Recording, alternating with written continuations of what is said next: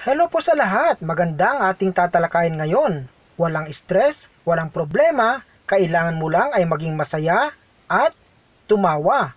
Pero bago po ang lahat ng mga yan, kung bago ka pa lang sa ating YouTube channel, huwag kalimutang mag-subscribe sa Gemstology. Pakihit na rin po ang notification bell para lagi kang updated sa mga bago nating health tips upload. Likas sa ating mga Pilipino ang pagiging masayahin. Kahit may suliranin sa buhay, nakukuha pa rin tumawa. Sabi nga sa kanta, di ba? Tawanan lang ang iyong problema. Dahil laughter is the best medicine. At yan ang ating tatalakayin kung totoo ba na nakapagpapagaling ang pagiging masayahin o kaya laging tumatawa. Sa kabilang banda, alamin muna natin kung saan nanggagaling ang sakit. Ang mga tao ay nagkakasakit dahil sa impeksyon, virus, tulad ng pulmonya, TB, sakit sa bato, UTI, diabetes, sakit sa puso, at yung iba ay dumadaan sa depresyon. At ang unang gagawin nila ay iinom ng gamot para gumaling. Pero bakit ang iba? Kahit patuloy ang pag-inom ng gamot ay hindi gumagaling. Iyan ay dahil sa kanilang emosyon. Nagkakaroon sila ng kalungkutan o depression na iniisip nila kung ano ang mangyayari. Dahil dyan, sila ay hindi makakain, di makatulog, nababalisa, at nagkakaroon ng negatibong pananaw sa buhay. At dahil dyan, lumalala ang karamdaman ng isang tao. Kaya napaka-importante sa isang may sakit o may karamdaman ang kanyang emosyon para gumaling. Ayon sa isang libro, napatunayan na ang kaliit-liitang cells o selula sa ating katawan ay buhay at may kaisipan o consciousness.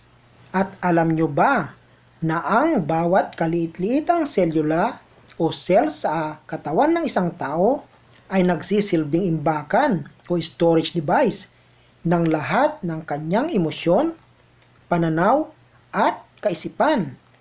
Sa makatuwid, kung pupunuin natin ang mga cells sa ating katawan ng mga negatibong damdamin at kaisipan, ito ay manghihina at masisira na siyang magiging sanhi ng pagkakasakit. Kabaliktaran naman ito na kung ito ay pupunuin natin ng masasayang damdamin at kaisipan, ang mga cells ay lalakas at sisigla. Kaya yan ang katotohanan na laughter is the best medicine dahil kung masaya ang iyong pakiramdam, lahat ay magaang sayo. Nakakahinga ng maayos, may ganang kumain, at nakakatulog din ng mahimbing. Isama din natin dyan na ang pagiging masiyahin at laging tumatawa ay nalalayo o nakakaiwas sa sakit sa puso. At alam nyo rin ba na ito ay nakapagpapabawas ng timbang at natural na painkiller. At ang pinakaimportante sa lahat, kapag ikaw ay masiyahin at laging tumatawa, hindi kukulubot ang iyong muka. You will look younger.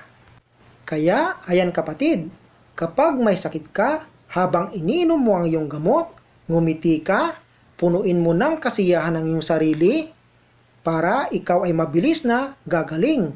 At syempre, huwag kalimutang tumawag sa ating Panginoon dahil siya ang nagpapagaling ng lahat ng karamdaman. Siya ang doktor ng mga doktor. Alagaan natin ang ating sarili dahil ang kalusugan ay kayamanan. Prevention is better than cure. Huwag kalimutang mag-subscribe sa Gemstology.